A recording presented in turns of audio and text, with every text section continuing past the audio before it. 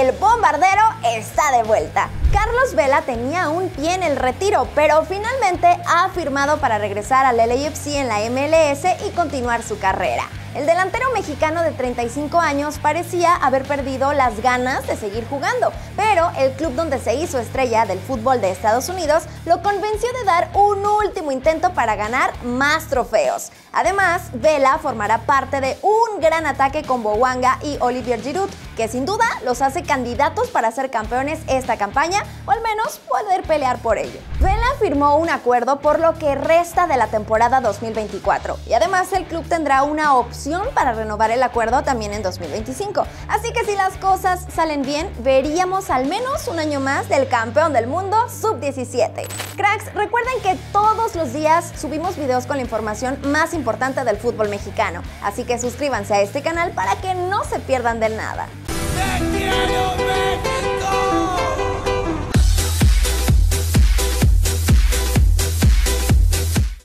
Y hablando de regresos, se hizo oficial finalmente. Rodolfo Pizarro regresa a la Liga MX y Mazatlán lo anunció en plan grande dentro de sus redes sociales, recordando sus mejores momentos con Chivas, Pachuca y Monterrey, todo al estilo del Joker.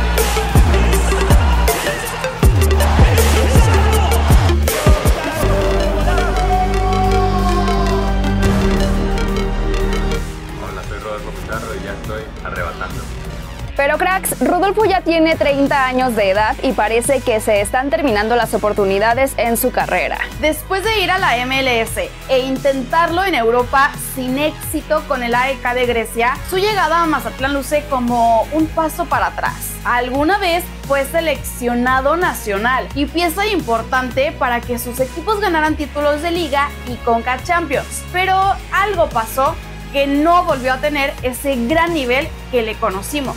¿Creen que con los cañoneros lo pueda recuperar? Cracks, Chivas simplemente no pudo hacer gol contra el América. Ya les contamos que Fernando Gago asegura que su rebaño fue mejor que las águilas. Y sabemos que la hormiga tuvo una jugada muy clara que pues al menos pudo ser el empate para los tapatíos. Entonces surge la pregunta, ¿Chivas extrañó a Chicharito o el resultado hubiera sido el mismo con el veterano delantero en la cancha? Nunca sabremos si Hernández hubiera podido empujar o no ese balón, pero por lo pronto hay buenas noticias para la afición del rebaño. De acuerdo a Sergio Dip, periodista de ESPN y amigo personal del Chicharito, el delantero ya podría estar de regreso esta semana. Así lo dijo el analista en Fútbol Picante donde aseguró que en estos días el ex Manchester United y Real Madrid ya podrá jugar con las Chivas. Hay que recordar que por la jornada doble realmente hay poco tiempo para que Hernández esté listo.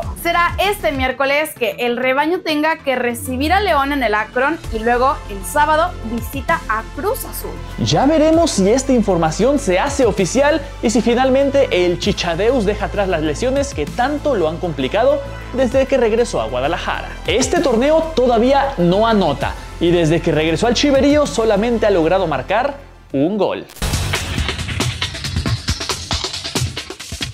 El AEK de Atenas ganó 2 por 0 al Bolos en la Superliga griega. Orbelín Pineda fue titular y salió de cambio al minuto 75. Después de sufrir una terrible fractura de tibia y peroné, el Hobbit Bermúdez declaró a récord que no se retirará y que a sus 37 años buscará regresar ya que le ilusiona volver a jugar en primera división con el Atlante. André llegó a trabajar conmigo a los 14 años. Era un niño con muchas ganas de aprender. Me duele saber que sufrió tanto. Ya descansas en paz, André, dijo José Ramón Fernández sobre el fallecimiento de André Marín. Y cracks, con esto terminamos el video del día de hoy. Gracias por quedarse hasta la parte final. Ya saben que en la descripción están nuestras redes sociales y también los links de los canales hermanos de cracks. Yo soy Iraís y nos vemos muy muy pronto.